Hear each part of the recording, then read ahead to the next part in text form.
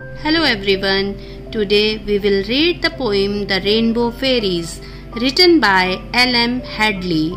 इस पोइम में जो राइटर है पोइट है he wants to tell you about the summer's day summer's day means गर्मियों के दिन वो गर्मियों के दिनों का वर्णन करता है इसमें क्या है टू लिटिल क्लाउड्स क्लाउड्स मतलब बादल दो छोटे छोटे बादल जो हैं, वो गर्मियों के दिनों में went flying through the sky वो स्काई में, यानी कि आकाश में, घूम रहे हैं। दे वेंट सो फास्ट वो इतना तेज चल रहे हैं दे बम्प्ड बम्प्ड मतलब टकराना, कि बम्प देयर हेड्स कि उनके सिर आपस में टकरा जाते हैं and both begin to cry और दोनों ही रोने लगते हैं।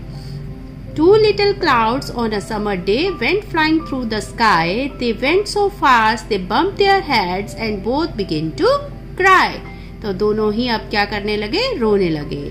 Old father sun look down and said तभी सूर्य जो है, उसको फादर की उपाधि दी गई है और कहा कि उसने नीचे देखा, ओ नेवर माइंड तुम बुरा मत मानो my dear I will send my little fairy folk मैं अपनी छोटी छोटी परियों को नीचे भेजूँगा। किस लिए?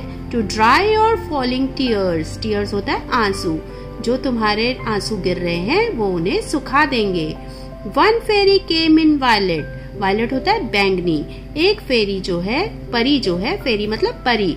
एक परी वायलेट मतलब बैंगनी रंग में I and one wore indigo और दूसरी ने इंडिगो मतलब गहरा नीला रंग पहना था।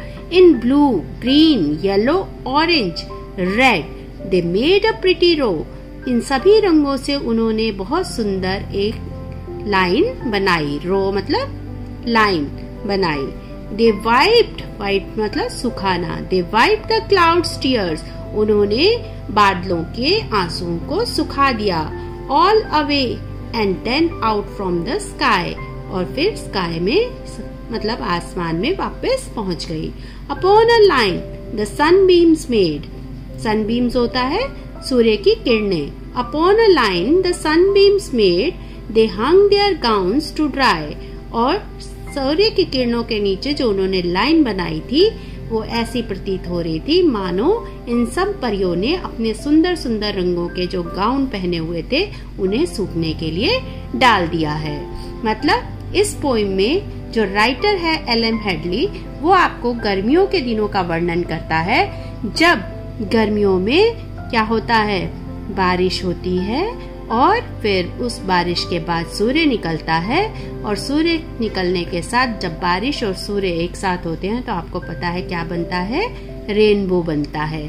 आप सभी ने रेनबो देखा होगा, उसमें ये सारे रंग होते हैं। Violet indigo blue green yellow orange red और ये सब मिलकर एक सुंदर तस्वीर बनाते हैं, सुंदर लाइन बनाते हैं।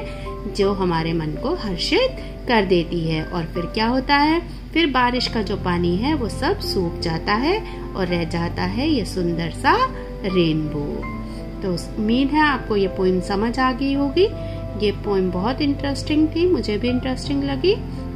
अगर आपको ये अच्छी लगी तो इस वीडियो को लाइक कीजिए और चैनल को सब्सक्राइब कीजिए ताकि आप आने वाले आगे जो भी वीडियो हैं उन्हें देख सकें। Thank you